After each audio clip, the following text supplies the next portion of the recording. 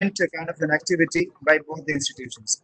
And I'm really very happy to share with you that we have received a really good response for this particular STTP. And prior to that, also we organized couple, I mean, couple of STTPs. Uh, so the response here is uh, more than 150, 140, 130 around. So this is the number of participants. They are regularly available to us, uh, joining us. And uh, uh, yeah, maybe there's some bandwidth issues. So uh, I think I am still audible to you, madam. Yes, yes, you are. Okay, okay. So uh, this is how I mean this STTP is being organized. So without taking much time, I'll uh, you know uh, uh, I just say uh, that I welcome you, uh, Madhavi, and. And uh, may I request all the participants to please see that the mic is in the mute position. I'll uh, invite uh, Dr. Jakhar, the TEQIP coordinator at GC Bikaner, right away to uh, formally welcome the honorable speaker and all the participants. And Dr. Jakhar, please. Thank you, thank you, uh, sir. Uh, good morning, everyone. Good morning, uh, Dr. Madhvi.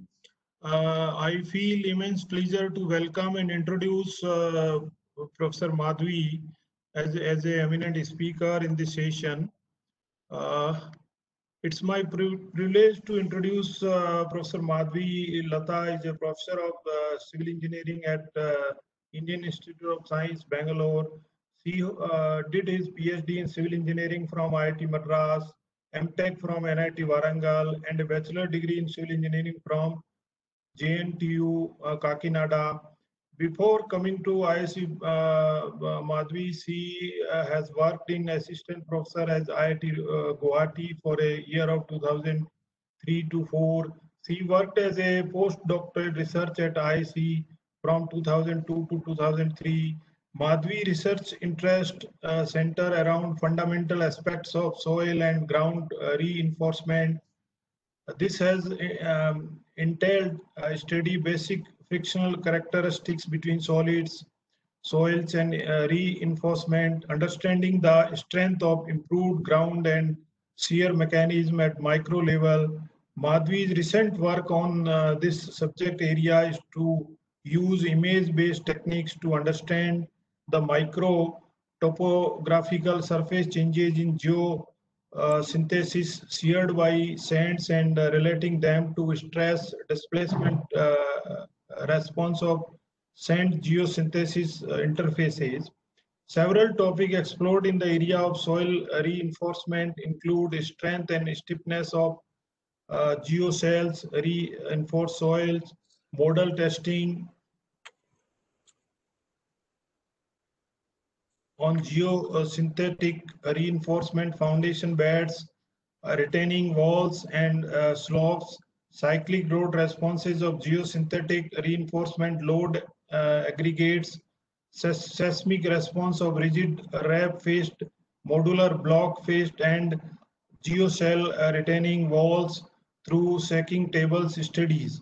So Madhvi also maintain an active interest in many topics in rock engineering, including numerical modeling of joint, jointed rock masses, stability analysis of rock slopes, and rock slope reinforcement. So thank you, uh, Dr. Madhvi, for uh, accepting our invitation, and I formally welcome as a speaker for this session, and I also welcome all the participants uh, for this session and I hope his uh, lecture will be very fruitful, beneficial for the partic- participant. Thank you. Thank you so much. Over to Professor Satan for further proceeding. Thank you, sir. Uh, thank you, uh, Dr. Jakhar, for uh, formally extending a warm welcome to the honorable speaker and to all the participants. So thank you so very much. And yes, you know, I can say that Dr. Madhvi is, you know, person the faculty who is having very outstanding accomplishments. So that way, we are really very privileged to have her, you know, take this session for you all. So with that note, I extend uh, welcome to Dr. Madhvi once again, and I welcome all the participants. And over to you, Professor Madhvi, for your session. You may now start your session, please. Thank you, Professor Satansh and Professor Jakhar for uh, giving a nice introduction. I mean, it's a pretty long introduction, I should say. I'm overwhelmed. Thank you so much. Uh, it's my pleasure indeed to be associated with NIT Kurukshetra in this manner. I never had any formal interactions with uh, your institute. It's my first step. I request the organizers to kindly mute the chat if possible because it's like uh, disturbing me uh, every time. So, if you can kindly mute the chat until the end of the thing so that I can take the questions at the end. So, I will try to share my screen. I will.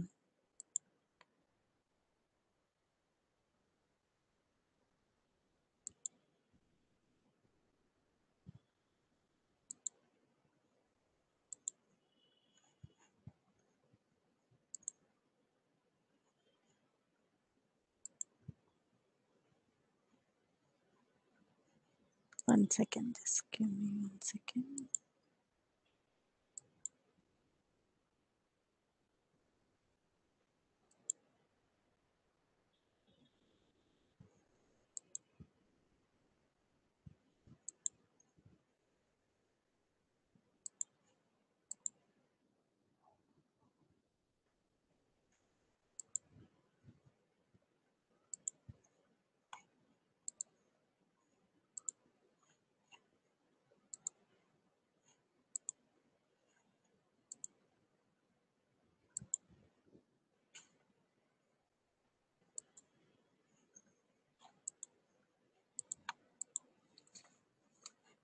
Uh, can you see me? Uh, I mean, see the screen? Can someone Yeah, confirm? yeah, we can, Yeah. s- yeah, we can Yes, see the yes, screen, Dr. yes. Madhavi. It's clearly okay.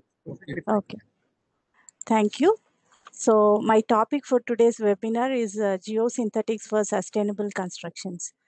I've been working in this area of geosynthetics for past 25 years since I joined for my PhD at uh, IIT Madras. Uh, before that, also I have uh, done a lot of experiments on geosynthetics during my BTech and MTech.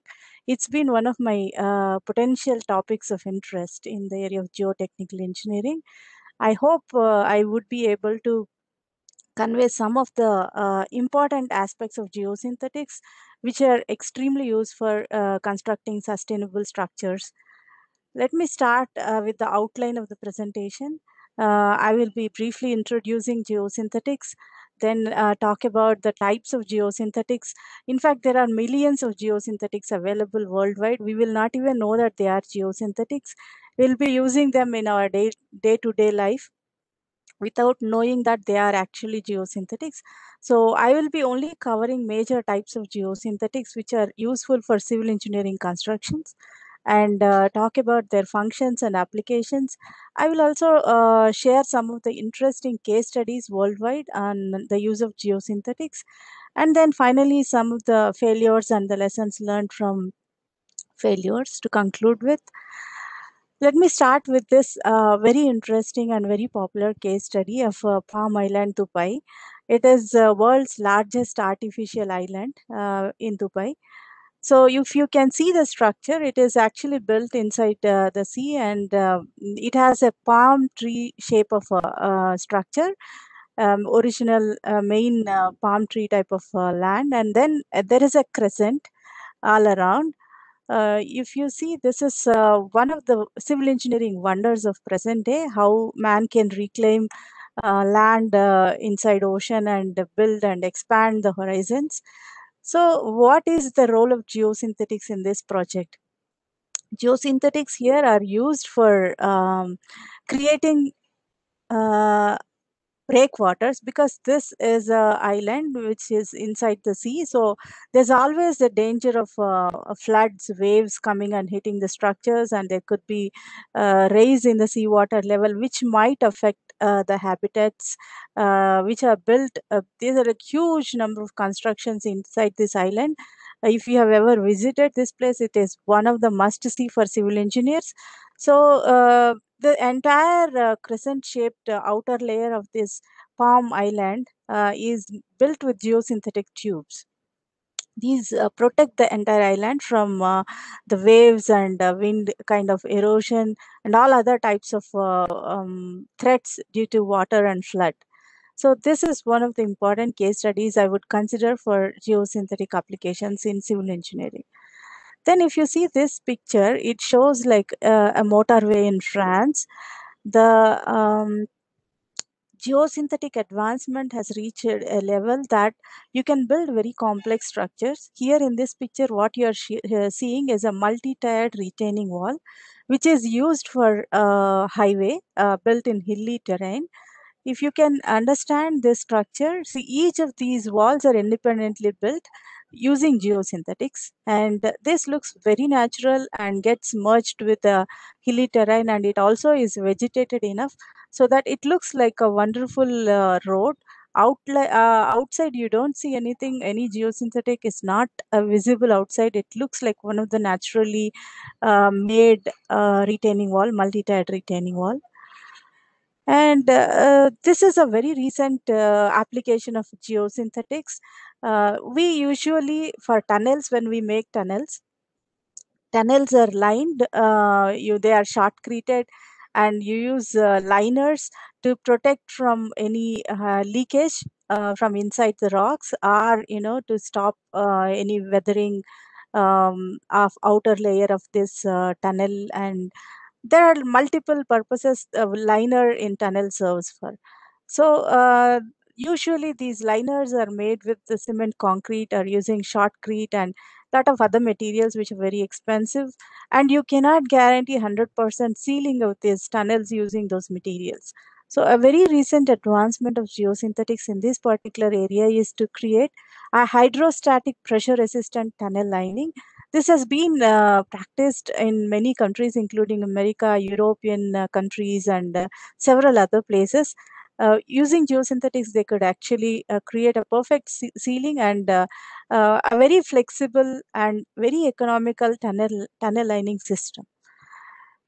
And geosynthetics also help in mitigating failures due to natural hazards if you see this picture to your left shows a landslide uh, in Taiwan, which is very, very disastrous. You can see the entire freeway is blocked by the debris flow from the landslide. So if you have to do rehabilitation or if, if you want to actually construct slopes which are close to these highways, railways and uh, other uh, commuting, um, uh, you know, lifelines, it is better to use uh, reinforcement, which is in the form of geosynthetics, which is shown to your left. Uh, this diagram shows uh, how geosynthetics help in um, avoiding landslides. So I will go to this aspect when I talk more about reinforcing aspects of geosynthetics. But this is a slide I want to show you just to show that how uh, useful geosynthetics will be to avoid um, uh, natural hazards. And of course, one of the most important applications of geosynthetics is in the area of geoenvironmental engineering, particularly to create landfills, engineered landfills, which will uh, help us to dump our waste in a very engineered manner, in a very compact manner, and also without contaminating our soils and groundwater resources, and also uh, to provide uh, landfill which can generate energy. So this has been a very um, um, popular trend in most of the developed countries that you convert a landfill into something very useful. In this picture, what you're seeing is a 2,200 acre landfill site, which is called Fresh Kills Landfill Site in New York. It's very famous. For a long time, this is the largest landfill site uh, in the world. And it served uh, the purpose of waste dumping for almost 50 years and uh, even the uh, World Trade Center debris has been dumped in this landfill site. This landfill site is closed uh, almost like a 15 years back, and now uh, the government of USA uh, is like um, uh, they are developing this into a eco park, which is like which will be the largest park in New York. This is a 30 year long project which is undergoing, which is in progress right now. So geosynthetics play a vital role in uh, creating this kind of a wonderful eco park from waste dump sites. And in fact, I have personally visited several such sites in Chicago where they have built beautiful soap factories and many other interesting facilities on dump sites. So this is a very welcoming um, application uh, for the sustainable world for the next generation. Now coming to uh, the slide which I, where I will uh, describe what is a geosynthetic material. According to the American Society of Testing Materials, uh, geosynthetic is defined as a product manufactured from polymeric material used in conjunction with soil, rock, earth or any other geomaterial as an integral part of a human-made project, structure or system. So essentially geosynthetics are made from polymers. Since uh, they are made from polymers, they are very cheap compared to many other civil engineering materials. So we have different types of uh, geosynthetics. Uh, I can tell you there are like uh, every year there are new innovations in the area of geosynthetics and you have many different types of geosynthetics made from different kinds of polymers. Mostly we use polypropylene or polyethylene for making geosynthetics. Major varieties of geosynthetics are geotextiles. These are kind of fabrics made from polymers. They look like any fabric uh, and they have they are non-woven and woven type of geotextiles. In woven type of geotextile, you have uh, warp and weft kind of uh, woven together like any fabric is uh, woven. And geogrids, these are uh, very stiff materials, have big apertures compared to geotextiles. These are extremely permeable. Even geotextiles are permeable. But geogrids have uh, large apertures. Uh, they are mainly used for reinforcement. And geomembranes, these are used for environmental applications. They're extremely impermeable, completely impermeable. And they are used as um, uh, mostly their usage is in landfills. They are used for liner systems and cover systems of landfills. And geocells, these are three-dimensional polymeric cellular uh, confinement systems. These are made from uh, polyethylene or polypropylene ultrasonically welded and they come in a very collapsed form in a very compact manner from uh, site and they are expanded uh, and they are filled with the choice of material, mostly granular material, uh, sand or gravel or sometimes even cement concrete to make a perfect mat kind of foundation for your road structures, foundations, retaining walls, embankment bases. They serve multiple purposes in civil engineering constructions. Geopipes, these are typically hydraulic uh, conductors. Uh, they uh, carry water in different applications like embankments, retaining walls, and uh, earth dams. And uh, mm, the most important uh, part of this is they have these geotextile filters all around so they allow uh, only water to pass through them and sorry they stop the passage of soil particles and uh, hence they uh, they protect the soil from getting eroded away. And geofoam is uh, one of the recent uh, inventions in the field of geosynthetics. This is expanded polystyrene. You have these uh, typical packing materials which come with your um, um, computer packing if you have seen they look like thermocol but it is not actually a thermocol. It is called geofoam uh, it is extensively being used in road building retaining wall construction and other applications. I will talk more about them when i go to the actual specific application and then geotubes, these are very interesting products. Uh, these are made with the geotextiles and the filling material can be anything starting from uh, gravel, sand, clay, or even sometimes construction debris or even waste materials are used to fill these geotubes. Their particular application is erosion control, shore protection, and geonets. These are also polymeric material net type of structures Typically, they are used on hilly slopes to protect the slopes from rockfall. You would uh, see them when you are traveling through hilly regions along Himalayas. Most of these um, hills are uh, being protected with the, these nets anchored to the rock slopes. Geofibers, these are uh, discrete uh, fibers which can be mixed with soil to improve the shear strength of the soil, which can be used for constructing different structures like embankments, retaining walls, and foundation beds. And uh, geocomposites are like a composite uh, made from uh, textile and grid are woven geotextile and grid and a non-woven geotextile. Sometimes you also have a bentonite layer in between, which is called clay liner, geosynthetic clay liner. Popular application being uh, replacement of actual clay liners in landfill applications in civil engineering. So uh, in total, we can actually um, classify the functions of uh, geosynthetics and they come under six major categories separation filtration drainage reinforcement containment of liquid or gas and erosion control now uh, what type of uh, geosynthetic material helps in what type of function? This table gives you a brief overview of this uh, application of geosynthetics in various uh, uh, functions. Geotextile can be used as a separator filter drain or reinforcement. It is also used for erosion control but it cannot be used in containment applications because it is a permeable material. Whereas geogrid having bigger apertures, it cannot be used as a separator, filter or drain, but its only, applic only application is reinforcement because it possesses very high tensile strength. And geomembrane, it is a impermeable material. Its main application is containment used in landfills or any containment applications. Geocells, these three-dimensional uh, cellular networks, they are used as separators, reinforcement and erosion control. Geotubes, their main application is for drainage and containment. And geopipes also drainage and containment.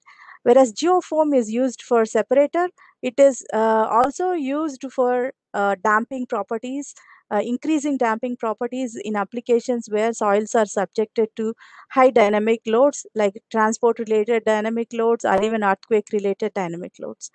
Geonets are used for drainage and erosion control and mostly rockfall protection in slopes. Geofibers are only used for reinforcement and geocomposites serve all different applications or purposes of geosynthetics. Now I'll quickly go through uh, different types of functions served by geosynthetics. Let me start with this function called separation. Separation is uh, creating a barrier between two different materials.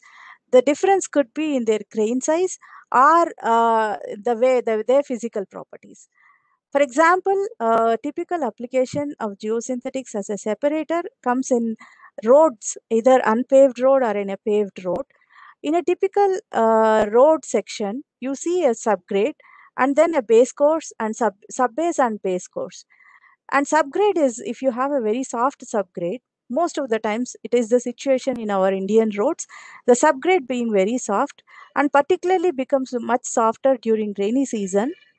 And when you do not have any um, intermediate interface between the subbase, which is typically an aggregate layer, this uh, during rainy season the subsoil becomes very soft and the uh, aggregate will try to penetrate or it will penetrate this subgrade. Because of this penetration two things happen. First thing is the thickness of granular layer or sub base layer reduces because part of the subbase is sinking into the subgrade. And the second thing is it also uh, the subsoil which has become very uh, soft will get pumped into the subgrade making it uh, this is called uh, aggregate fouling. The clay material which is um, uh, slushy it gets pumped into subbase and makes this subbase uh, coated with this clay thus by reducing the shear strength why will it reduce shear strength because the friction between the particles of these aggregates is the main reason for uh, shear strength in this aggregate layer and when these aggregate particles are coated with the soil coming from the subgrade, they lose their friction. So the entire bearing capacity which is offered by this subbase will reduce. So the thickness reduces, its load carrying capacity reduces, leading to potholes, ruts, all kinds of damages on your roads which you will be seeing in rainy season.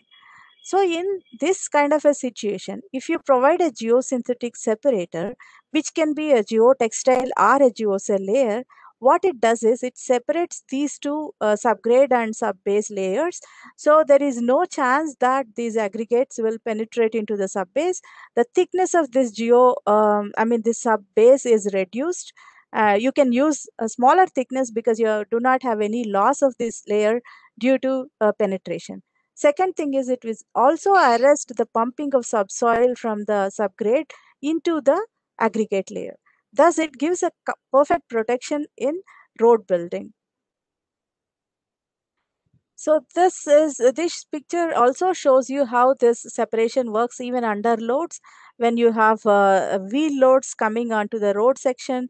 Uh, this is unreinforced without any geotextile and with geotextile how will they perform under the loads? When you have a separator even if you have settlements they are kind of distributed and there is no mixing of particles between top layer and the bottom layer. So uh, this is how we use geosynthetics as separators in it is being used in most of the road networks across the world. Geosynthetics are very very um, i mean popular and uh, very common in road applications the next function is filtration filtration is uh, allowance of water or hydraulic uh, uh, material to pass through the pores but stopping the soil particles to pass through the pores. So this function is very useful when we are creating uh, kind of hydraulic barriers. Even like uh, when you have sand filters, uh, they act similar to sand filters. They allow water to move through the uh, soil, but they retain all soil particles, so they stop the erosion of uh, uh, soil.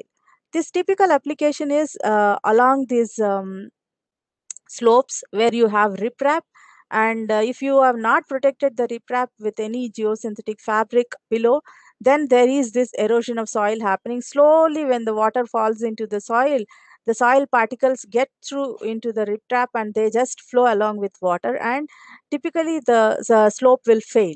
So uh, this can be arrested by providing a layer of geotextile below the riprap or even in case of a drain. If you have a granular drain or a geopipe drain you can wrap it with a non-woven geotextile so it allows for the passage of water and it completely uh, retains the soil particles. So uh, it stops the erosion of soil in many different applications. And the next most important application is drainage. One of the most uh, common problems are uh, the uh, problems which we are not able to solve in geotechnical engineering is long-term consolidation settlements of soft clays. When your clay is very uh, soft, and uh, typically if you want to uh, build a structure, these days we do not have restrictions on what type of soil can be used for building a typical structure. Earlier days we used to ask what is the bearing capacity of the soil but with the advent of lot of uh, ground improvement techniques and geosynthetics, we are in uh, a generation where we ask for how much bearing capacity do you want. So how do we achieve such a bearing capacity in soft soils and how do you consolidate soft soils? Once you build a multi-storied structure on a soft soil and with time the consolidation settlements keep on uh, increasing and then the structure will settle by few meters. So we are not allowed to do this so the best solution for this kind of a situation is allow the clay to settle completely before you construct anything. How do you do that? This is typically done by accelerating the entire consolidation process by introducing artificial drains into the soil. So these artificial drains are prefabricated vertical drains are made using geosynthetic materials. So apart from the vertical drainage which happens in soils naturally and which is very slow, the introduction of these uh, prefabricated vertical drains allows for radial drainage. So it uh, allows for immediate consolidation of the entire clay layer.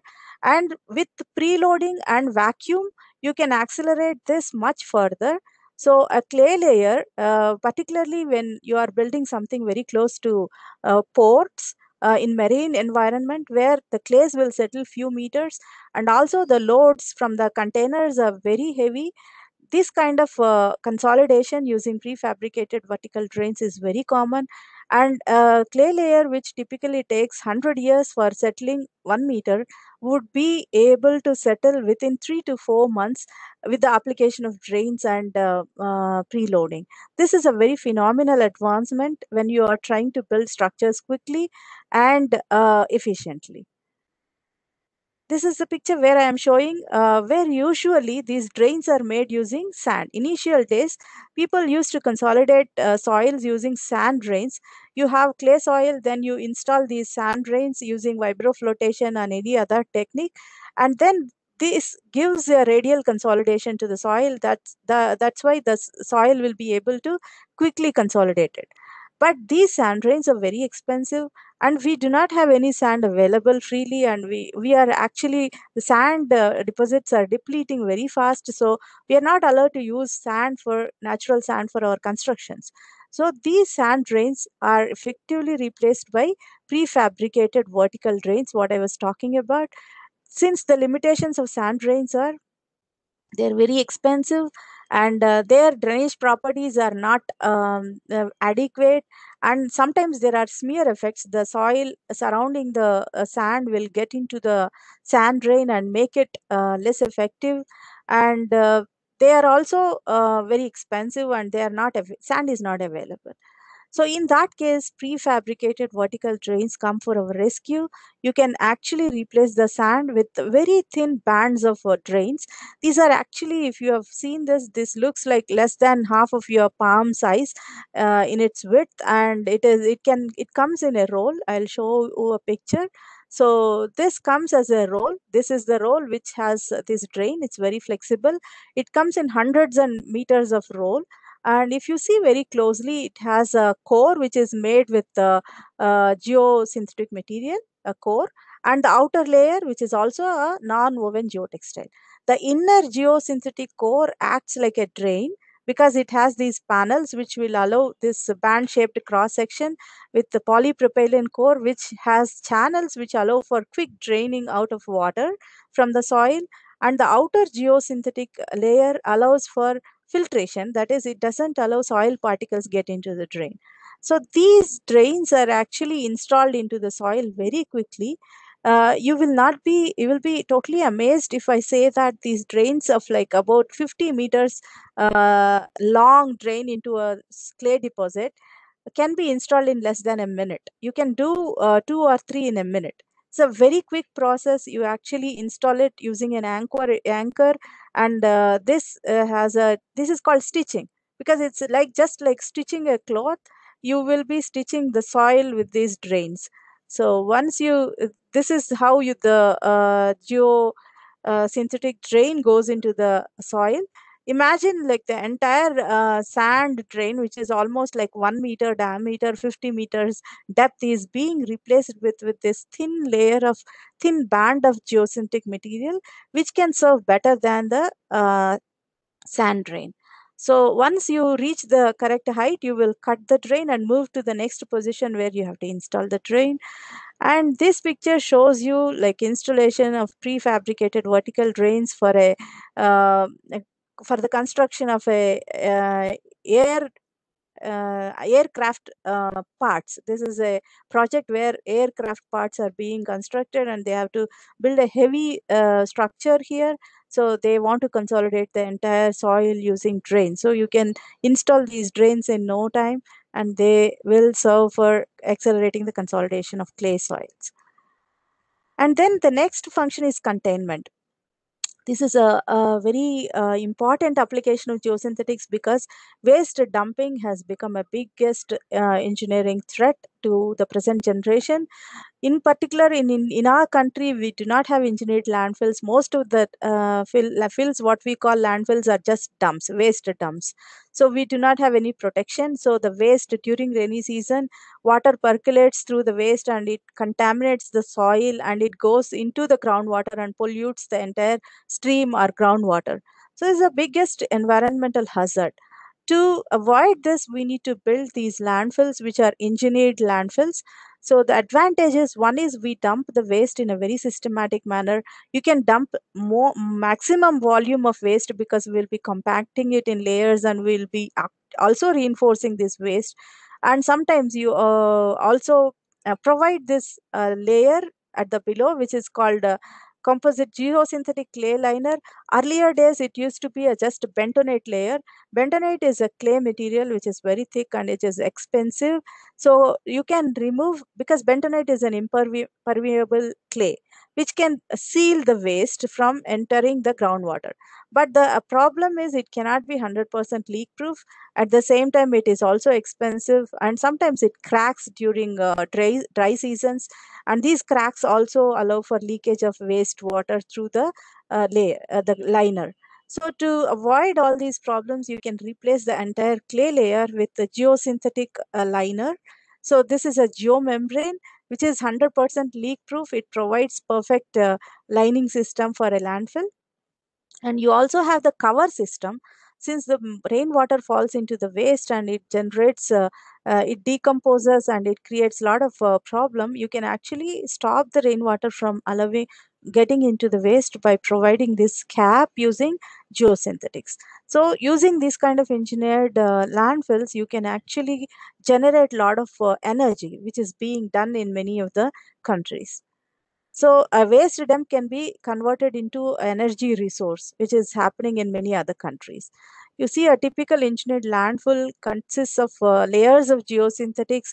Uh, you can also have a grid at the base to provide more stability to this geomembrane layer, which are providing as a liner. You can have a cap system, which is made using geosynthetic. You can actually increase the capacity by several, uh, you know, cube uh, thousands of cubic uh, tons by cubic feet uh, by using these geosynthetics. And the next application is erosion control. Uh, typically, when you have a slope which is uh, open to rainwater, you have different types of erosions happening. One is a splash. When the rain droplet falls onto the slope, it will actually splash. And when it is splashing, it will take away some of the soil particles along with it. The next one is sheet. The rain particles will, rain will be, the water will be flowing on the surface of the uh, slope and it will form a sheet. And the sheet will take uh, the outer cover of your soil along with its passage. Then there are also rills and gullies which are formed during because there is the rainwater follows its own way path. So it uh, creates kind of gullies on the slope which will further uh, increase the erosion. And then at the base of the slope there will be a stream or channel which will be flowing from the gullies splashed water and sheet whatever what water comes to the base it will form a stream and along the stream the bottom portion or the toe portion of the slope gets washed away. Because of that you have a severe slope stability problem in this. One is erosion the other one is slope stability. So to stop this usually we provide riprap for erosion uh, control. So when you do not have any geosynthetic fabric uh, at the base of the riprap, there is a, uh, always a possibility that uh, the soil from the slope will get into the riprap and it eventually gets washed away. So by providing a filtration geotextile at the bottom of a, riprap, you can actually improve the erosion control capacity of this entire system. Uh, similarly, in the channels, you have cha open channels, you can actually protect the channel slopes and the channel bottom using geotextiles. So they provide perfect uh, erosion control uh, facility for this kind of slopes and channels. So on the slopes, you can also provide geocells. Geocells being three-dimensional, you can grow vegetation uh, in these geocells. I will show more slides about how popular these uh, geocell covering systems for growing vegetation. Since you can grow vegetation, this becomes a completely green solution for erosion control. Even for the channels, you won't even see these products outside. You will only be seeing the green cover. So this is this picture shows a huge slope, a very high slope, which is actually uh, next to a railway line being protected with uh, geocells. There is a geocell layer laid on the slope and then the grass is grown in this geocell uh, pocket. So once the grass is grown, the roots of this grass also penetrate into the soil. They provide natural reinforcement to the soil it's called bioreinforcement. This you have a two-way protection. One using this geocell, which is filled with soil. The second one by growing this vegetation. So you won't even know that this entire slope is protected using geosynthetics. It looks completely a natural green kind of a solution. And the most important application of geosynthetics is reinforcement.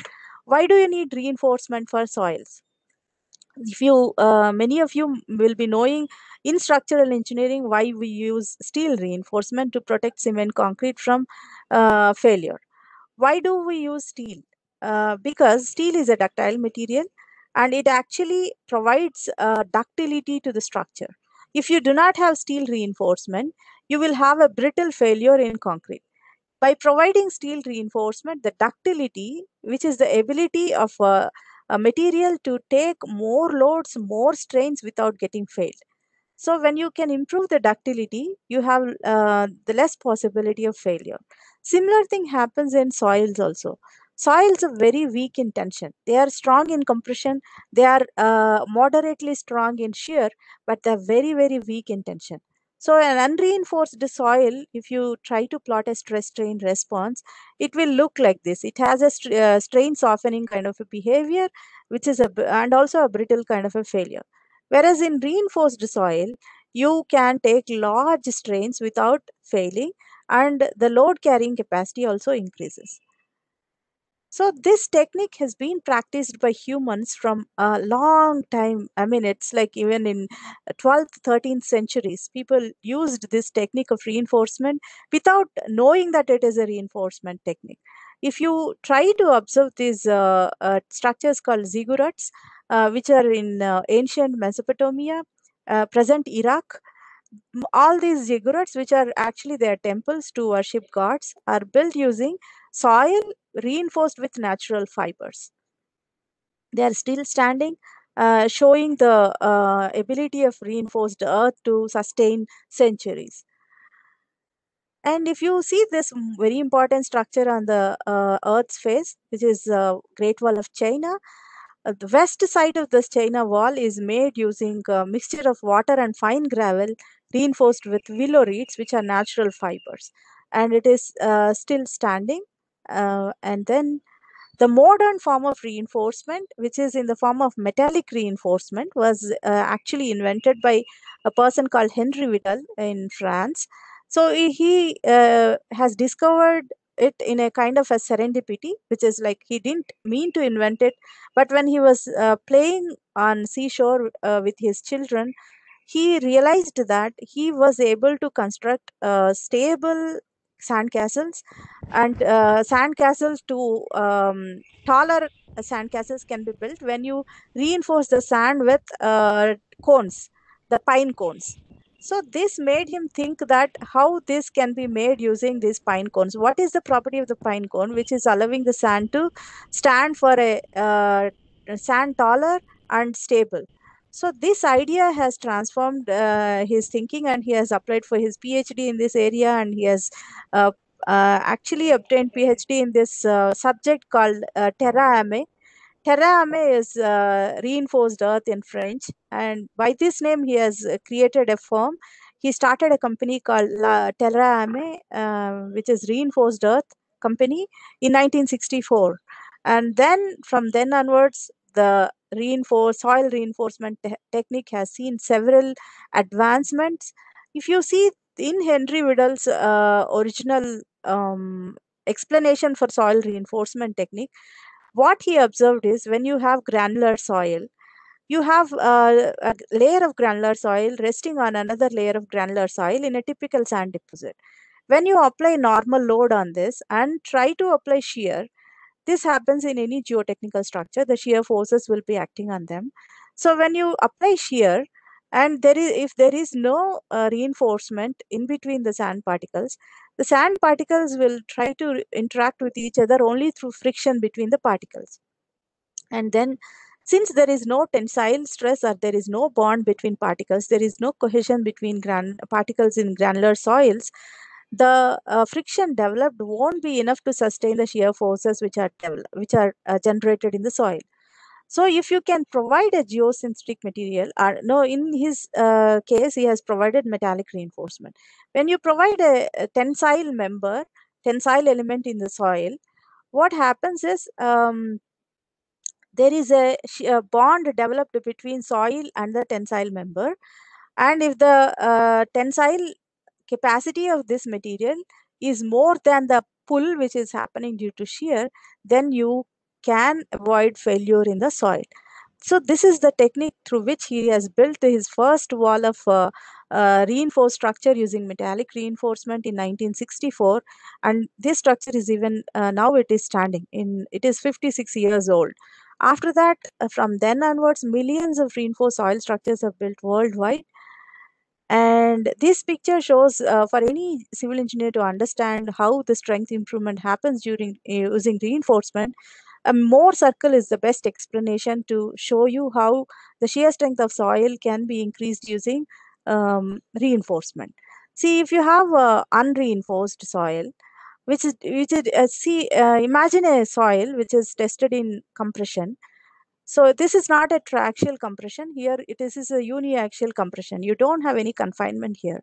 So in that case your Mohr circle will pass through origin because uh, the sigma 3 which is the minor principal stress is zero here. And you will have a major principal stress or vertical stress sigma 1 plotted here in a Mohr circle. And the friction angle of soil is actually is less. And because of that the soil will fail. The failure envelope is actually falling here so it will fail. How do you increase uh, its uh, capacity to sustain the failure? You can actually apply some confinement. So in a typical triaxial test you apply cell pressure. When you have sigma 3 the soil strength is increased. You if you have ever conducted a triaxial uh, test in lab you would have noticed that with increase in sigma 3 value, you will end up with increase in sigma 1 also. That means more confining pressure allows you to apply more normal loads onto the soil. So if you have confining pressure, your Mohr circle shifts uh, to the right. So sigma 3 plots not at the zero, but it is it has a different value. And with the increase in sigma 3, your sigma 1 starts increasing. So when you have reinforcement, reinforcement, what it does is you have two layers of reinforcement and the sand layer is getting sandwiched between these two layers of reinforcement. Because of this, the reinforcement creates a kind of confinement in the soil. So this confinement provides additional confining pressure, which can be seen as the increase in the minor principal stress, eventually resulting in increase in major principal stress. So a composite, reinforced composite will have the same friction angle, but cohesion is induced into the soil, even though the soil is granular, because of the confinement effect of reinforcement, it will uh, create a kind of apparent cohesion into the soil, which is the reason for its increased shear strength and uh, its capacity to resist failure. So with this uh, background or concept, people started building these walls, which are called mechanically stabilized earth walls because you have a reinforcement in the form of steel strips inside your retaining wall. So there are millions of such uh, retaining walls built all around the world. You can see lot many case studies in this area from Google or any uh, particular journal which is dedicated to soil reinforcement. And the problem with this metallic reinforcement is originally uh, when they don't have proper corrosion protection, it started getting corroded, which was reducing its lifetime. And uh, even though it is protected against corrosion, the steel uh, reinforcement is expensive. So uh, the though they have built several uh, reinforced soil structures using metallic reinforcement with time it has become unpopular because it is very expensive for developing countries. So in this uh, process the geosynthetics were uh, introduced. This is how the geosynthetics are invented uh, to uh, reduce the uh, econ economical burden of metallic reinforcement in reinforced soil structures people have invented geosynthetics. These are polymers, they are cheap, they can effectively replace uh, metallic reinforcement in reinforced retaining walls. Though the initial application was to reinforce retaining walls, it has uh, started to increase or spread into different applications like I already shown different uh, functions of uh, this geosynthetics. So the original application was reinforcement and geosynthetics very became very popular immediately because they have better quality control because they are manufactured in a factory environment you have excellent uh, uh, quality control and their properties can never go wrong. And they can be installed very quickly unlike your retaining walls which are built using cement concrete these can be built in uh, less than tenth one tenth of uh, the time which is needed for uh, other kinds of gravity retaining walls and they generally replace raw material resources. They replace a lot of gravel sand soil in these constructions. And they also make the designs very simplified and they're extremely cost competitive and uh, they are very uh, easily available widely available all over the world. And their technical database is very well established by now So uh, the uh, geosynthetics which are mainly used for reinforcement are textiles. These are like woven geotextiles and non-woven geotextile. Mostly non-woven geotextiles are used for filtration applications, but woven geotextiles are used for reinforcement. They are uh, having good tensile strength. And geogrids, these are two types. One is biaxial geogrid, other one is uniaxial geogrid.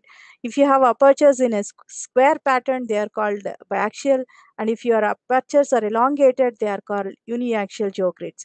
Uniaxial geogrids are mostly used in plane strain kind of applications, whereas biaxial geogrids are mostly used in applications where you have three-dimensional stresses. And the most important advancement of geosynthetics in the field of reinforcing soils is geocells.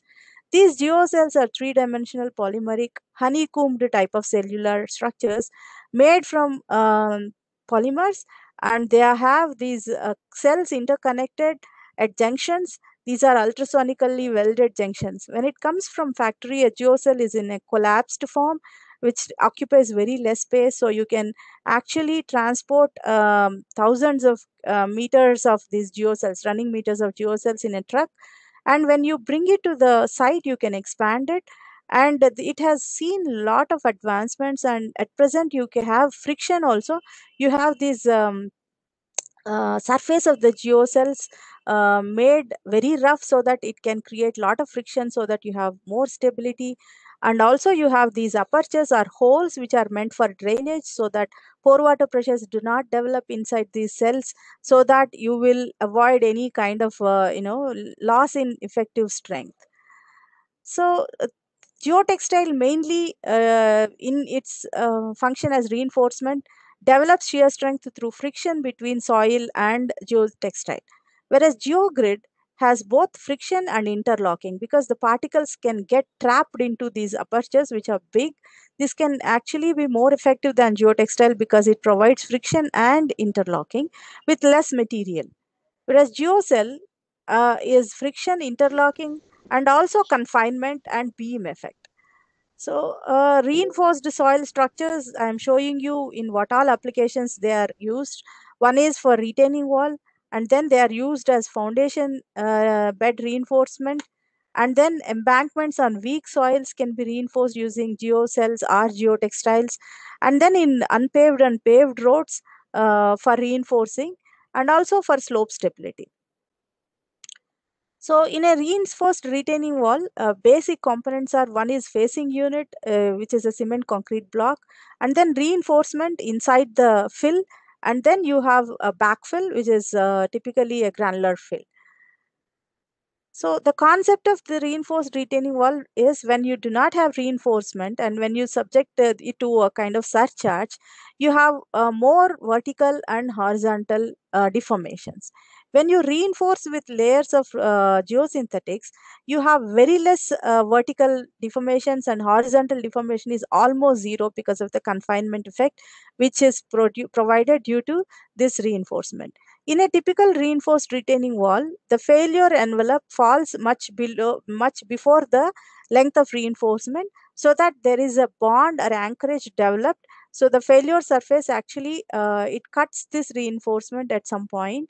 So this, uh, the additional reinforcement provided beyond this failure plane provides the bond which is required for reducing uh, sliding stability, uh, increasing sliding stability, overturning stability, and also providing excellent bond and uh, uh, overall stability. These are the different types of geosynthetic reinforced soil walls. Uh, the first one shows a full height panel walls. These are typically used in most of the Japanese constructions uh, for their high speed corridor projects. You have one concrete panel for the full height and inside you have these reinforcing layers. And then you have segmental panel walls. These are mostly used in our country. Uh, these panels are, uh, they provide facing. These are in the form of a swastik or any typical structure which fit, fits into uh, each other. And then you have layers of reinforcement inside. And you can also have modular block facing where these are hollow blocks made of concrete filled with uh, granular soil or gravel and uh, they are actually stacked together and you can have reinforcement inside. There is a batter for this entire wall to give more stability to the wall.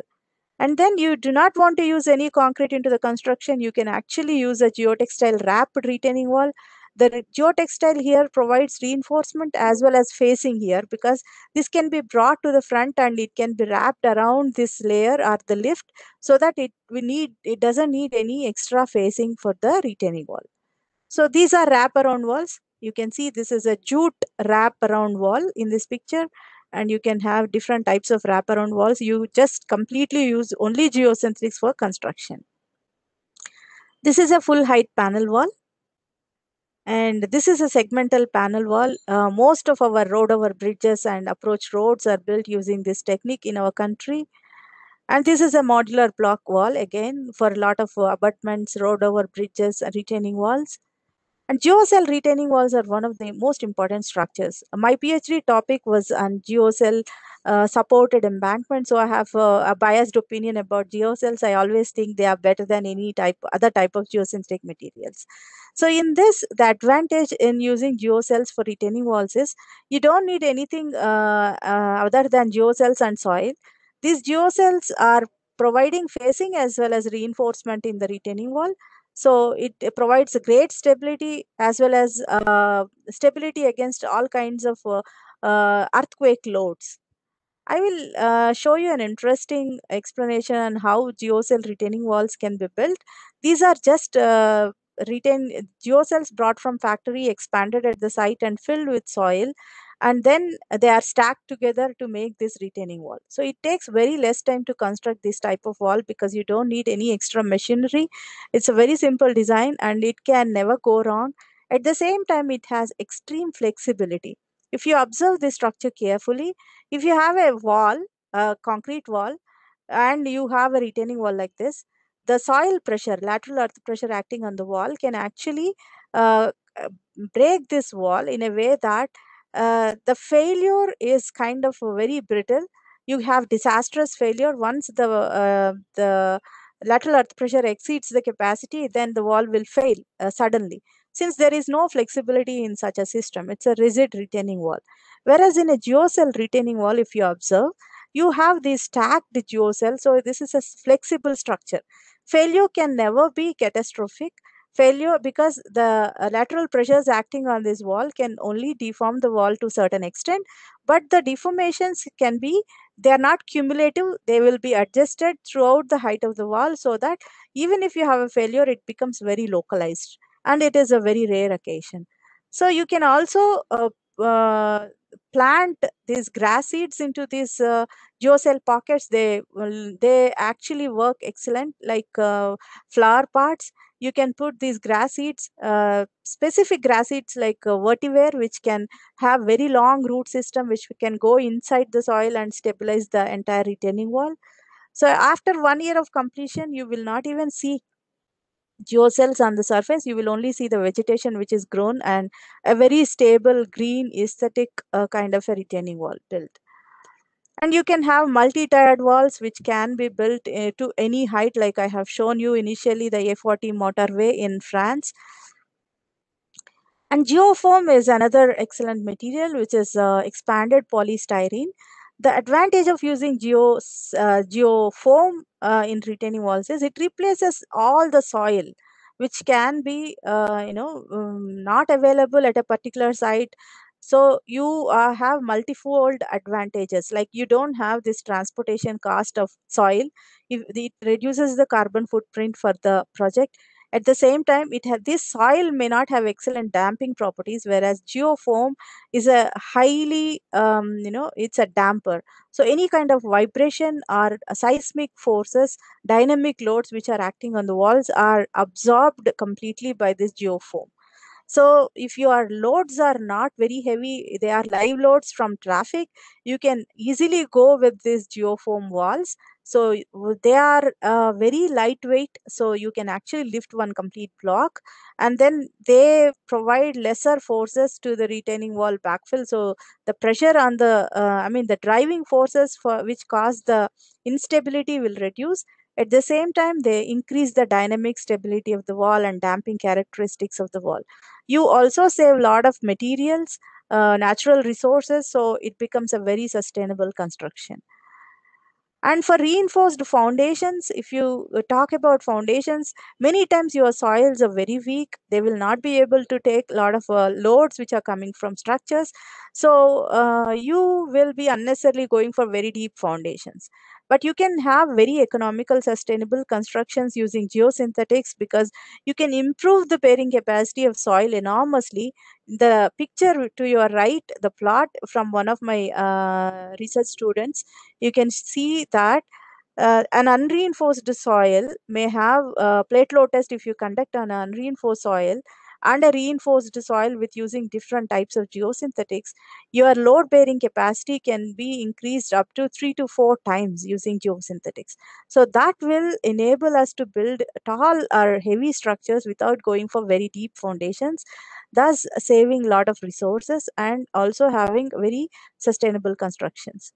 So the concept here is uh, when you have these loads coming onto the soil, you have uh, soil moving downwards and upwards. One part of the soil moves upwards and the part, the part of the soil below the foundation moves downwards. You have a slip circle typically formed below the footing. And when you have these reinforcing layers, they typically intersect with these slip surfaces which are formed below the foundation and the extremely high tensile forces are developed at the intersection of reinforcement and soil that these uh, tensile forces are responsible for increase in shear strength and increase in the entire uh, load bearing capacity of your foundation. So your typically a bearing capacity ratio which is defined as the bearing capacity of reinforced soil to the bearing capacity of unreinforced soil the value can be almost like 4 to 6 times as per many researchers. So you can have large increase in your bearing capacity using geosynthetics and the next kind of uh, application uh, of reinforced uh, soil is embankments. If you are building an embankment on a weak soil, you have three different types of failures possible. One is bearing capacity failure because your foundation soil is weak.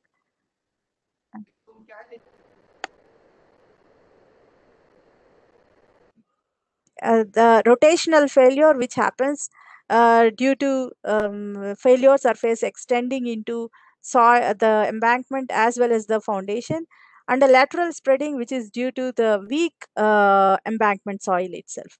So all these types of failures can be avoided by placing reinforcement in the form of geosynthetic strategically either at the base or within the embankment so you can have very stable you can build uh, you know high speed trains on soft soils which is possible which is shown in many countries like korea and japan. You can build bullet trains and very heavy duty uh, uh, embankments load carrying embankments uh, on soft soils using geosynthetics and even if you have uh, locally weak zones or sinkholes below the embankments, if you have differential settlements, everything can be arrested by providing layers of geosynthetics in these embankments. And geocells particularly come to your rescue when you have very soft foundations, particularly when your soft clays are thin, they are getting sandwiched between a hard stratum and the hard embankment. Your geocell layer can become a very effective solution so this is a typical plot from my PhD thesis, which shows that I have an embankment on a very, very soft soil uh, created in the laboratory model. And I have a layer of geocell below the uh, embankment.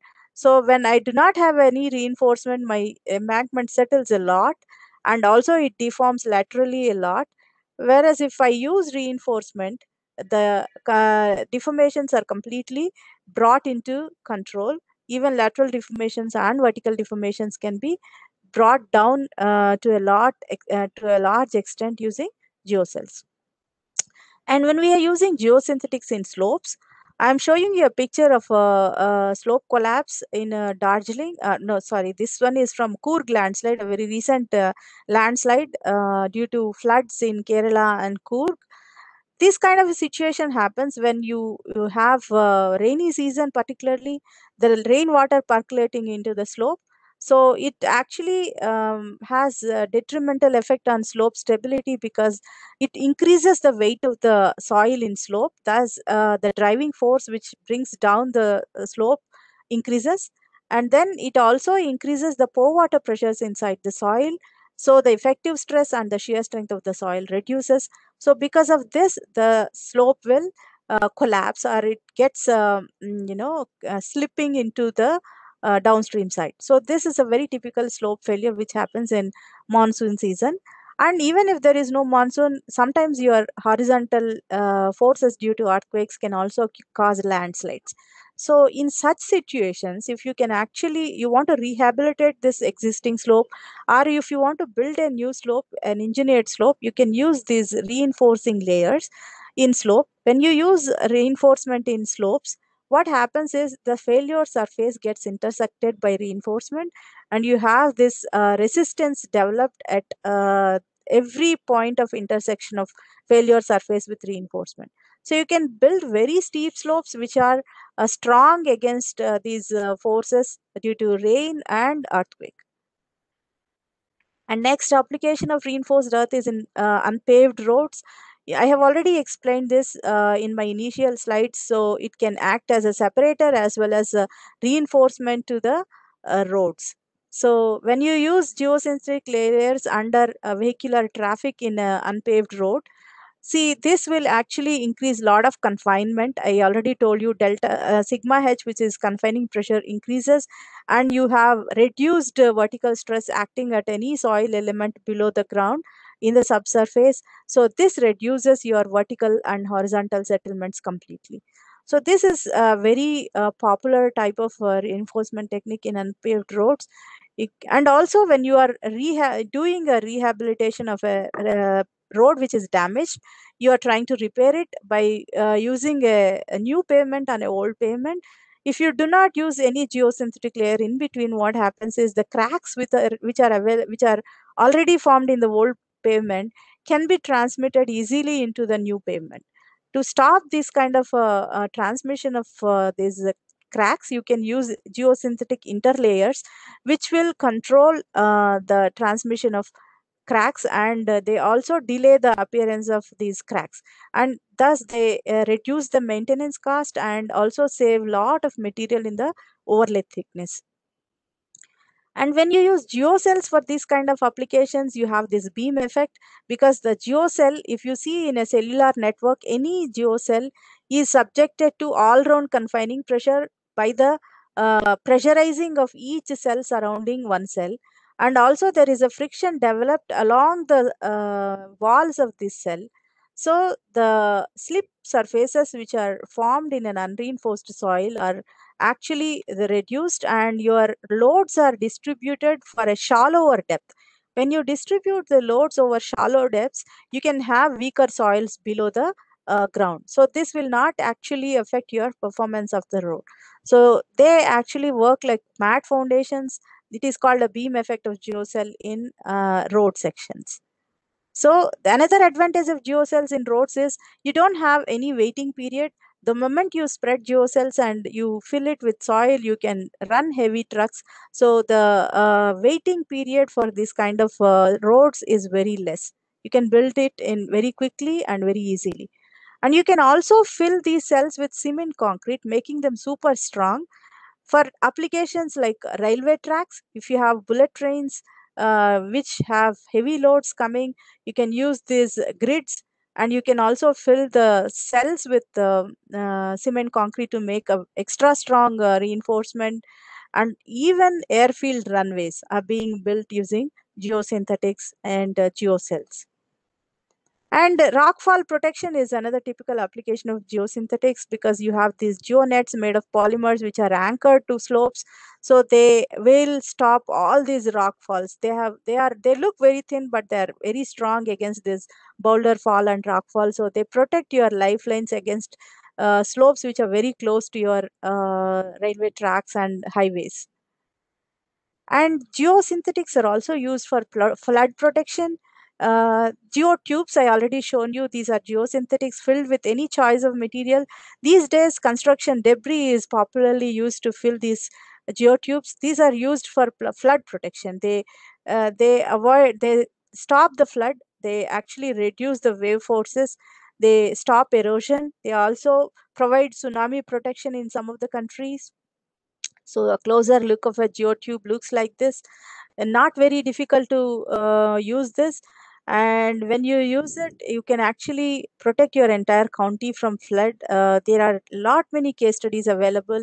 So you can actually be very safe during flood season using these geotubes and even for scour protection in the ocean you use geo bags. These are different from geotubes they look like our gunny bags made of uh, polymers. Of course they are filled again with uh, soil or waste materials.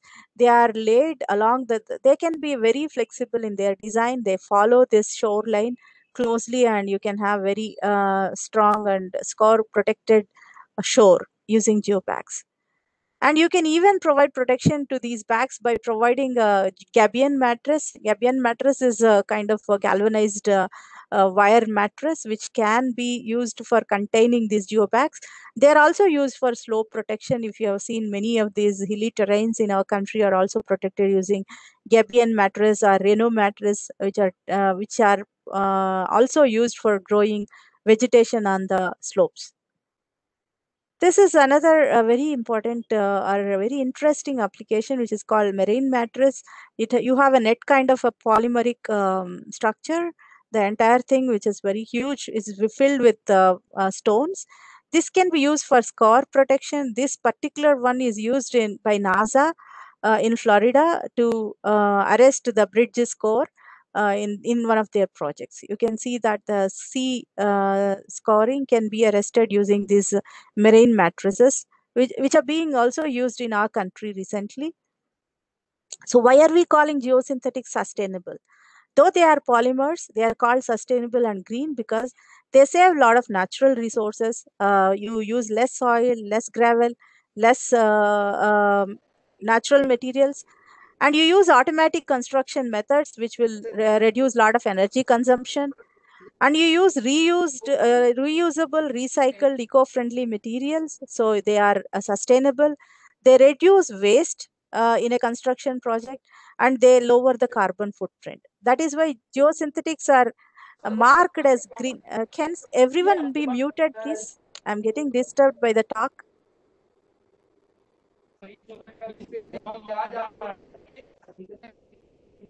can the organizers mute everyone? Uh, yes, uh, please, uh, Mrs. Sanjay P. Mishra, if you can hear me. Mrs. Sanjay P. Mishra, if you can hear me, please mute your mic. Mr. Sanjay Mishra, please mute your mic if you can hear me. You know, that's disturbing. Maybe he doesn't know. Uh, Ravi, if you can uh, scan through the participants list and do that. Yes, please. Yeah. Yeah, go ahead. Just mark. So, uh, geosynthetics are marked as green in most of the countries and most of the projects in developed countries uh, they have to show that why they are not using geosynthetics so geosynthetic usage is mandatory for several road building projects and scour protection projects in developed countries and if they are not using geosynthetics they have to get a legal uh, advice i mean legal proof that why they are not using geosynthetics in their projects. But compared to many other countries usage of geosynthetics was very small in our country till last uh, decade. We were using only 5% of the total uh, geosynthetics used all around the world. Uh, uh, but in the one decade it's been very promising and our codes also started talking about geosynthetics and they have entered our codes and a lot of uh, new infrastructure development projects are using geosynthetics in many ways. In particular in our road development projects because we have the largest i think second largest road network in the world. So the economic importance of geosynthetics is also uh, important for us to understand because geosynthetics are durable they are long lasting they are environmentally safe and they are non-reactive to soil. So we can safely use them with soil groundwater, water, drinking water, everything. 3% to 5% of the total cost of the projects uh, is used for uh, geosynthetics, whereas you save 30% of saving in the total project cost. And you can also minimize the regular repair and maintenance costs. And unless, like, I mean, if you are not using geosynthetics, most of the times, even you rehabilitate a road project during rainy seasons, it can be like every monsoon season you have to repair it. But if you go for a sustainable solution it can stay for 3 to 4 years without any maintenance. And they minimize pollution, lead to efficient use of natural resources, and then uh, they prevent potential ecological disasters like floods, droughts, uh, earthquakes, global warming with minimal cost. And they are difficult or impossible to degrade and inert, and they can be disposed of without the danger of contamination and they act as contaminant barrier to toxic materials. They provide sealing and capping of pollution. So they are green. They are sustainable. I will uh, only take another 5 minutes. I will discuss uh, some very uh, interesting case studies. This is a development of new port at Gangavaram in Visakhapatnam port, where I have gone for my summer uh, project during my MTech. So they were using prefabricated vertical drains. I think one of the very oldest uh, case studies on PVDs in our country. So it's very interesting to see like how PVDs were being installed uh, in this port to uh, consolidate the entire uh, land within six months duration by using prefabricated vertical drains and uh, preloading. So they have uh, used up to 10 meters to 18 meters depth of PVDs and with a spacing of 1 meter or 1.5 meters they could finish the consolidation within like uh, 174 days and another very recent case study of our country is uh, Sikkim Airport, uh, Pakyong Airport. It's a very beautiful airport because of its location, because it is uh, located on a hill when you're building an airport on a hill you have uh, the biggest challenge because uh, whatever material you are using should be commensurate with uh, the material which is already existing which is rock. So you need to have material which are as strong as your rock so that you can have no modulus difference between the materials so that you will not expect any deformations during its performance and service life. So the sikkim airport is uh, built by Maccaferri india which is like uh, one of the world's tallest reinforced structures, 80 meters in height. So they have used paramesh system, high strength geogrid along with the green Terramesh along the slopes where you can grow vegetation. If you see some of these pictures on net, you will be amazed because it's one of the most beautifully constructed airports on a hill. And uh, this interesting case study of a reinforced retaining wall in uh, Japan, which is in Kobe line, uh, this was built in 1992. You see that it is a mm, uh, segmental retaining wall with geo grids inside and uh, concrete panels outside. It was built in 1992. And in 1995, there is a huge earthquake, which is more than 7.5 magnitude on a moment magnitude scale. You see that the, all the structures surrounding this retaining wall were failed. And then uh, the entire length of uh, this reinforced retaining wall, 300 meters, it is only slightly deformed during earthquake, which is not even visible by uh, naked eye. So this is standing uh, tall, perfect, an example for seismic resilience of reinforced soil structures and then in high speed uh, train corridors of japan because i am uh, talking about this is and this is our country's uh, dream.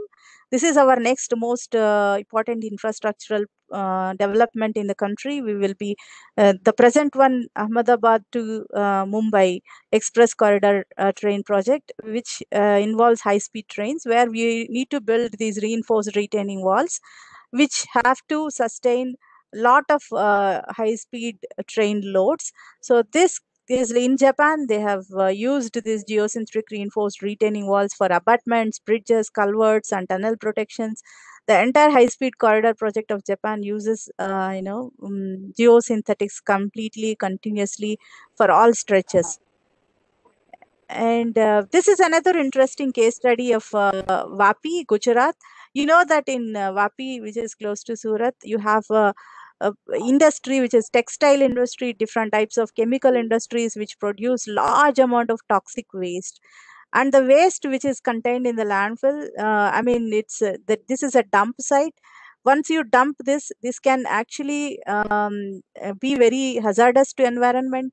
And second thing is you can develop uh, dump only so much of uh, dump because you, anything beyond that you would have seen a very, um, I mean, uh, Ghaziabad uh, the, uh, landslide in a dump, waste dump. It can actually be very uh, fatal. So to dump more waste into this site and with a stable configuration, they have extended vertical expansion of landfill was done. So you can see the that there is a segmental um, modular block retaining wall is built to vertically expand a, a landfill. It is one of the very challenging projects uh, in the entire world. So they could do it, and they have used geosynthetic reinforcement for this vertical expansion, which enabled about 2,60,000 meter cube of toxic waste. Originally, it was only 1,50,000 meter cube of waste. And this is in uh, one case study where I was involved in Belgaum, Karnataka. There was a road which is completely damaged during rainy season. So the geocells were used for uh, repairing this road. So once this is repaired, it is performing very uh, well, and its maintenance also is not high. Every rainy season, it doesn't get damaged like it was getting damaged before. And uh, another uh, interesting application is in the wind farms. You know that wind farms are uh, renewable sources of our energy for the next generation. And our country is also planning to have a lot of these wind farms because uh, they are extremely powerful in generating energy. In our country, particularly being coastal, we have large coast where we can harness on this wind energy which can be generated. So foundations for these wind farms can be uh, built using uh, lightweight geosynthetic materials unlike heavy foundations. We call these as floating foundations for wind farms because they are made with uh, lightweight geosynthetic materials at the same time providing a high bearing capacity and high resistance to lateral pressures which are generated in these uh, windmills. And there is one failure case i want to discuss because geosynthetics are not magic materials though they can provide resistance to a lot of uh, detrimental uh, unstabilizing forces they can be sometimes uh, failure in retaining walls. This is one uh, case study of a reinforced soil slope built to extend a runway of an airport Yeager airport in charleston usa this was um, actually a very challenging project and it also received the best uh, project in the decade award also. This was built by TenCate so the problem is once this is made, uh, this is built to perfection according to the design. Uh, using limit equilibrium methods, they have uh, used geosynthetics and built this. And this case study is available on net. Uh, some of you who are interested can go through this case study. And it is an excellent project. But uh, what happened is on one day, 2015, 12th March, there was a huge landslide which actually has uh, made this entire slope collapse, which was very, very, um, you know, very unfortunate. And you can see that this uh, entire reinforcing uh, layers are pulled off along with the slide, which is happening along this. So this design was okay. Reinforcement was fine. They have used simple limit equilibrium methods for the design of this slope. They could have been more uh, cautious uh, keeping in view of the see this is a huge landslide which is a very deep seated landslide. So whatever reinforcement provided is not beneficial here because it was only protecting the outer layer of your slope. So when the, your failure surface is too deep and it is not accounted for in your design it can be disastrous. The entire slope collapsed and um, it can be very dangerous but I will uh, end my talk with a positive note, not with a failure. This is the world's largest human form, 400 meters long and 34 meters uh, height, which is sculpted using waste material from a um, carbon uh, coal mine, coal mine next to it. Huge um, coal uh, residue waste is coming from this mine, and then they do not know what to do with it. So this is in UK. What they have done is they have thought of making a wonderful park with a human figure made out of this waste material. They were able to make this. This is one of the most beautiful. This is called the North Lady or Lady of Beauty of UK. So this is made. This is an aerial view, so you are not getting the exact dimensions of it, but it's a huge human form made with waste material, reinforced with geosynthetics. This looks like, um, you know, this in aerial view all these slopes are built using geosynthetics and waste material from the coal dump. And it is um, one of the very um, uh, attractive recreational spots in uk you can see this case study also uh, from their uh, TenCate website. Thank you so much. I am open to any questions. Now i hand it over to organizers thank you, Professor Madhavi. It was really, really, I mean, very wonderful talk and uh, very informative in the sense like we got to know um, what is uh, geosynthetics material and you know and the potential of its its various applications, where all it can be used. I mean, you uh, you are so very exceptional in explaining and very wonderfully and very nicely. So thank you so much. In fact, I think it was uh, a very very interesting talk. So now I'll uh, you know invite the questions from the the participants maybe what you can do is yeah and a lot of appreciation is coming your way through the chat box if you can scan through yourself as well. And uh, they're all appreciating your talk i mean. So thank you so much uh, all participants for you know sharing your appreciation to the speaker. Uh, you know i join you in whatever you are saying it's super. So thank you so much. And maybe uh, you can ask your questions directly also by unmuting yourself. And there are some questions there in the chat box also. Meanwhile i'll scan through that. And in case somebody is willing to ask a question directly so uh, you're welcome. Um, Uh, one by one, maybe. Yes, who's that? Sir, this Yes, is uh, Dr. Swati from BIT Sindri. Yeah, Dr. Swati, please ask your question. Yeah. Yes. Uh, uh, Ma'am, it was indeed a very informative lecture. Thank you so much for enlightening us with your precious knowledge. And uh, I just had a question that while making the landfill site, we go for the geo. So as to the combination of the ground groundwater with the leachate. Could you please tell me what is the life of this geoliner used? And my second question is the cap material as well as the geoliner, is that the same? No, yeah, it's a good question. Uh, thank you, Swati, for that. So, uh, as of now, like uh, to understand what is the lifetime of your liners, people have done a lot of centrifuge tests. Why they use centrifuge tests is, uh, see, uh, you can simulate 100 years in like few hours in a centrifuge. So, from the centrifuge tests, a lot of people from European countries, researchers have uh, shown that these liners are uh, can be very stable up to 50 years. That is the life period for the liners. And to your question uh, second question uh, capping and liner these are different materials because capping doesn't require any stability. It can i mean the liner which is at the bottom should be most permeable. So this is typically made with the gcl which is called geosynthetic clay liner where you have a woven geotextile non-woven geotextile sandwich sandwiching a layer of bentonite clay. This is called gcl which is available in market whereas for the capping you don't need clay because you just want to uh, this water not to percolate into the soil uh, into the waste. So you use geomembrane. Typically it is um, geomembrane. Sometimes you also use geosynthetic clay liner but most of the projects use geomembrane. You can use the same one also because the uh, purpose is same arresting the leakage. Thank you so much, ma'am. Thank you so much. Uh, thank you, Dr. Swati, and I hope you used and answered absolutely nicely. So thank you, uh, Professor Madhvi, for that. And uh, any other question? And there are there are some few questions, you know, uh, from uh, from Nitika Chauhan. So how the strength and porosity of geosynthetics changes under real application of law? That's one question. uh, under real application of Load, load. Yes, uh, this is also uh, an interesting question. Under load, geosynthetics can undergo fatigue and creep. Creep is one of the aspects because it's a polymer. Under sustained loads, geotextile or geo uh, any geosynthetic material can creep.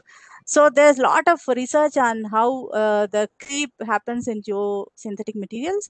So it is uh, taken into designs because when you have this tensile strength of geosynthetic materials, you would have tested it under uh, controlled conditions uh, and then you apply a creep reduction factor the tensile strength of uh, geosynthetic material is reduced by a factor which is called creep reduction factor when you use this uh, in the design you take care of creep that is how they uh, under the load definitely it creeps and it will reduce so the actual tensile strength of uh, geosynthetic material and the design strength will be different to take care of this creep and fatigue effects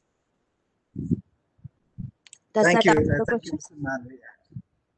I believe that you, the, the Nitika Chauhan used an answer. And there's another question from her only. Uh, can we use polystyrene as geosynthetics? everything is a geosynthetic material i mean it depends on like what application it is like even see uh, some of my students in initial days used this ohp sheets overhead projector sheets laminating sheets we have built geocell walls using our uh, uh, polythene sheets so geosynthetic material uh, you can actually make holes if you want drainage so uh, there is no reason why you can't call any material geosynthetic anything which can be used within the soil I have seen some studies where, where they have used plastic bottles uh, for reinforcing soils. This is like uh, this is also a polymer which can be. Uh, only thing is you need to make sure that this doesn't react with soil, and the um, materials which are like min, uh, composition of soil should be such that whatever material you are using should be inert, should not react with soil. As long as this condition is satisfied, you can call any material as geosynthetic material you use jute Okay. also cotton also you can use uh,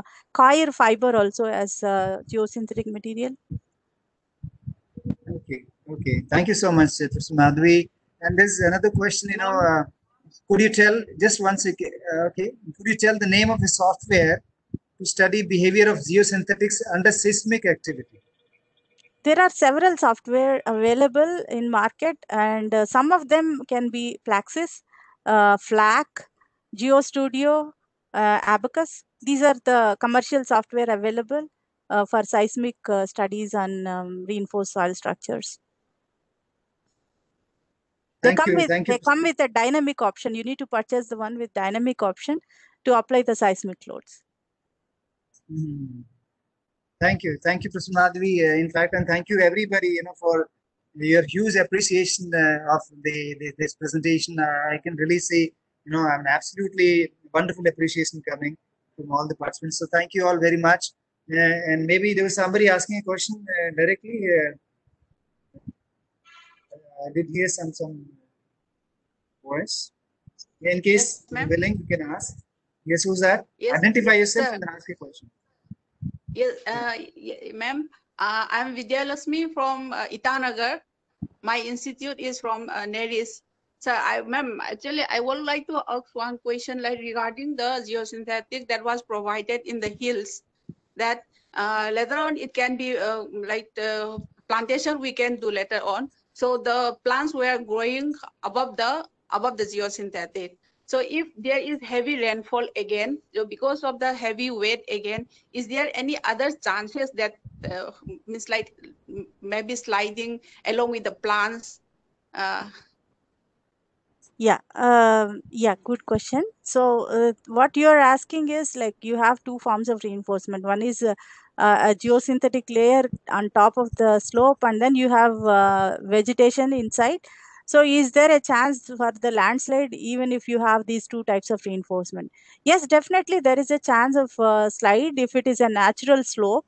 If you are just protecting your uh, slope, uh, I mean, geosynthetic on the top of the slope only protects it from erosion it only it also acts as a base for vegetation. So your vegetation the that is why i told you there is something called vetiver we are being uh, using this uh, all around like our himalayan terrains. These grow like i mean 2 to 3 meters long roots.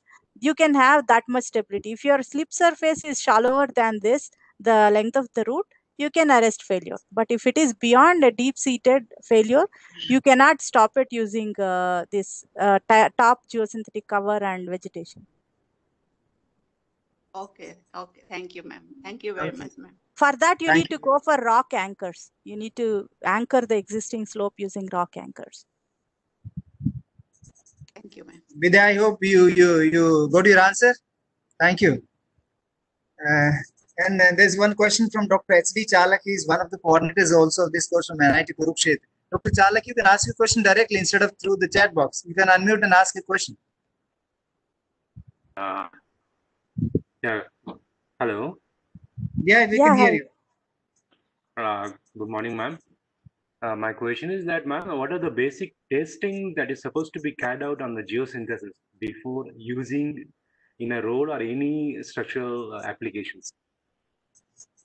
Yes, that And how it is entirely is a different lecture.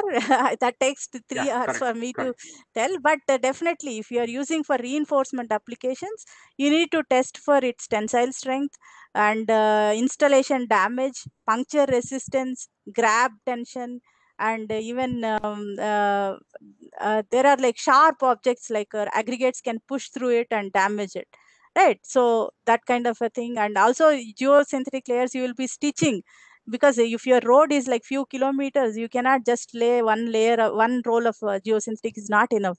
So you'll be stitching these layer uh, rolls in between.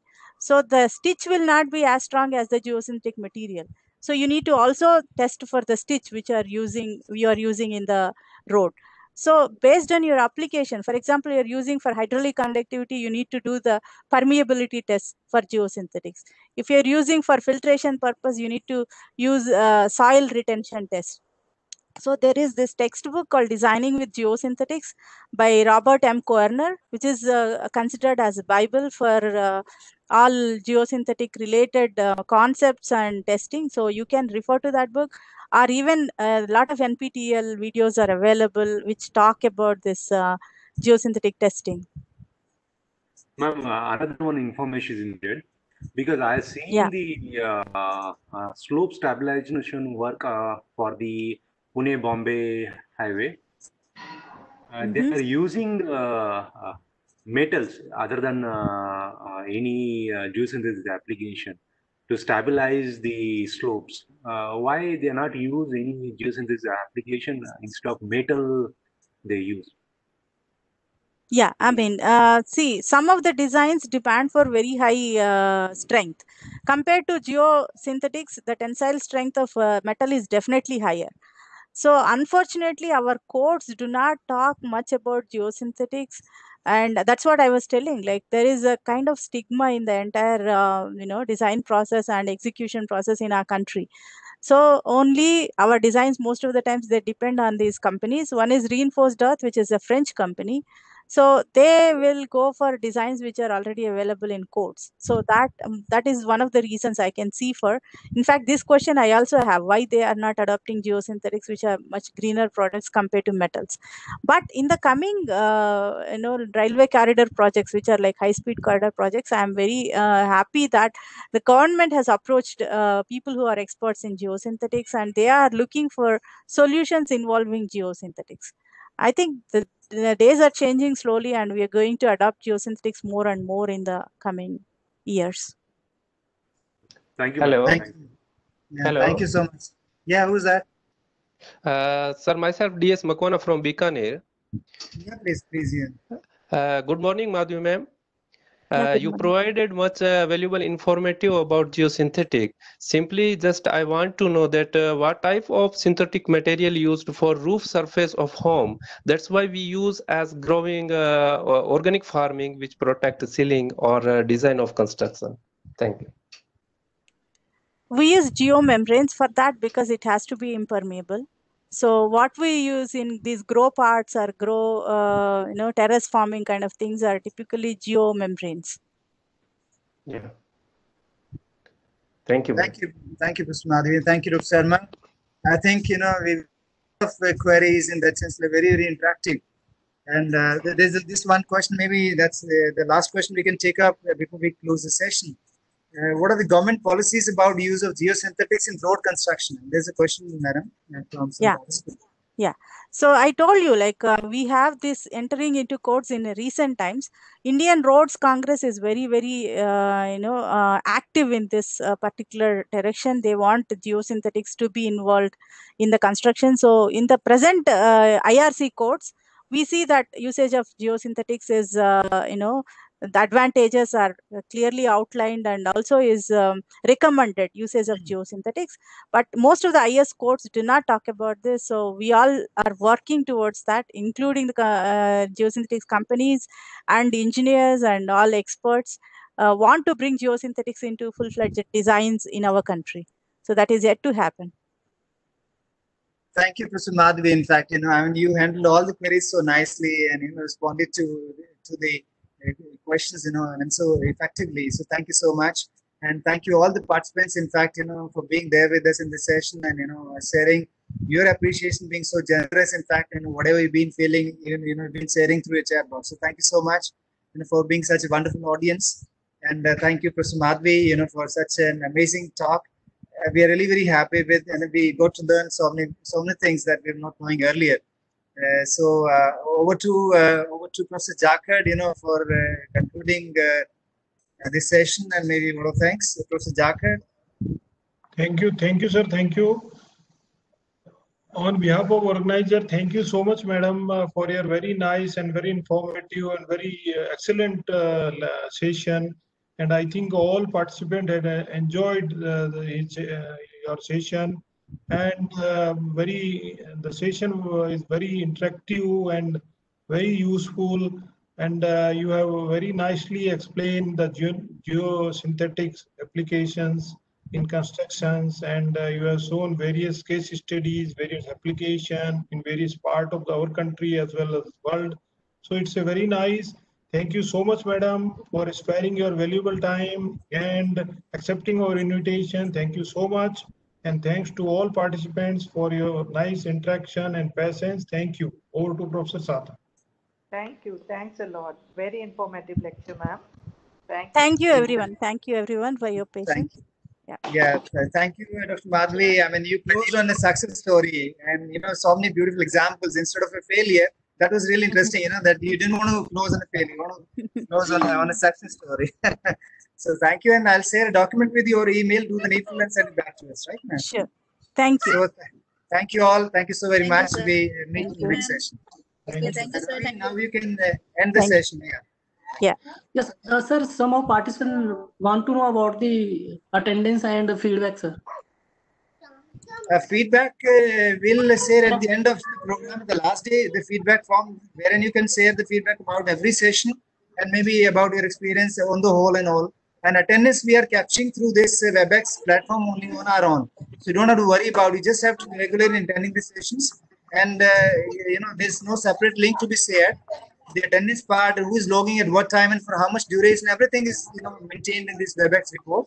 So we'll take that Dennis part from the uh, this uh, you know WebEx uh, platform only. So you know we get to know you know who logged in and for how much time somebody logged out, logged in. You know everything is there as a record with us. So we'll take care of that from this. And uh, you just have to take care of one thing that you are regular regulars in attending sessions. And I'm sure you know uh, you know we have put in efforts to connect uh, really very you know eminent speakers in their domain, you know, what the authorities with you. And I'm sure in every session will be a learning for you. Really, really, you know, really very good speakers. We've been fortunate to to get the kind consent of. So uh, just be regulars, uh, be be fine and cheerful and stay uh, in all sessions if you can. That's what we'll expect you. Uh, but you know, in case if not all, at least stay in most of the sessions. So that's what I'll make a request. So that's what it is. So thank you all. I think Ravi, that's done. Yes, sir. Yes, sir. Thank you, sir. Okay, uh, thank you, Madam Madhavi, in case you are still connected, now we are like closing this session. Thank you all. Okay, sir. Thank you all. And now we end the meeting, sir. Ah, you can end the meeting.